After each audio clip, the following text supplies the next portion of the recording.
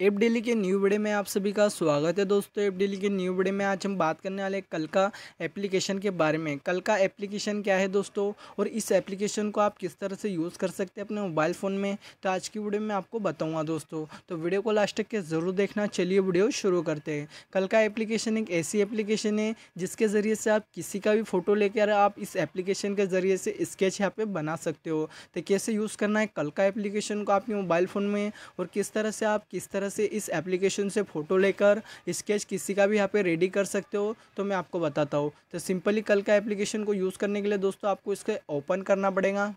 Open आप जैसी करते हो कुछ इस तरह से आपको स्टेप करने का बोलता है तो यहाँ से आपको नेक्स्ट कर देना है दोस्तों। जैसे आप यहाँ पे नेक्स्ट करते हो दोस्तों तो कुछ इस तरह से आपके सामने मेन स्टेप यहाँ पे देखने को मिल जाती है दोस्तों।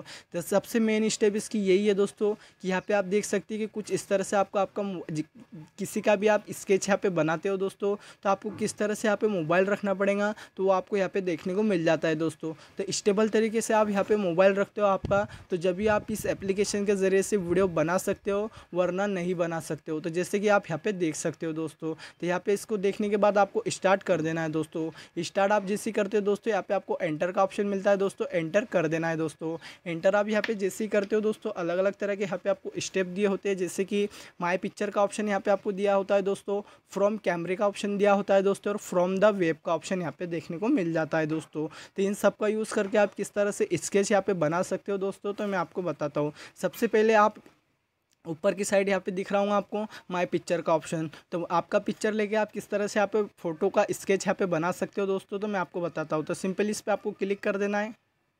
तो जैसे मैंने माई पिक्चर के ऑप्शन पे क्लिक किया दोस्तों, मेरी गैलरी यहाँ पे ओपन हो जाती है दोस्तों। यहाँ पे मुझे अलग अलग तरह के फ़ोटो देखने को मिल जाते हैं दोस्तों। तो जिस किसी का भी आपको स्केच बनाना है सिंपल तरीके से उसको आपको सिलेक्ट कर देना है दोस्तों। तो मुझे इसका स्केच बनाना है तो इस पर मैं क्लिक कर देता हूँ दोस्तों। इसको मैंने जैसे क्लिक किया, कुछ इस तरह से मेरे सामने फ़ोटो यहाँ पर आ जाता है दोस्तों। तो इसको आपकी मर्ज़ी से आपको जितना क्रॉप करना है, उतना आप इस एप्लीकेशन के ज़रिए से क्रॉप भी कर सकते हो। तो क्रॉप करने के बाद यहाँ पर आपको राइट का ऑप्शन दिखता है दोस्तों, इस पर आपको क्लिक कर देना है। इस पर आप जैसे क्लिक करो तो ये आपसे परमिशन माँगता है आपकी गैलरी से तो इसको आपको परमिशन दे देना है दोस्तों। आप जैसी परमिशन देते हो दोस्तों, नीचे की साइड यहाँ पे आपको ओके का ऑप्शन दिखता है दोस्तों। ओके आपको कर देना है दोस्तों। ओके आप जैसी करते हो दोस्तों, आपकी जो पेंटिंग है वो आपको यहाँ पे देखने को मिल जाती है दोस्तों। तो मैंने आपको सबसे मेन प्रोसेस यहाँ पे बताया कि आपको आपका मोबाइल स्टेबल तरीके से रखना पड़ेगा, जब भी आप इस एप्लीकेशन के ज़रिए से पेंटिंग यहाँ पे क्रिएट कर सकते हो दोस्तों नहीं तो नहीं कर सकते हो। तो बैक साइड आपको यहाँ पे आ जाना है।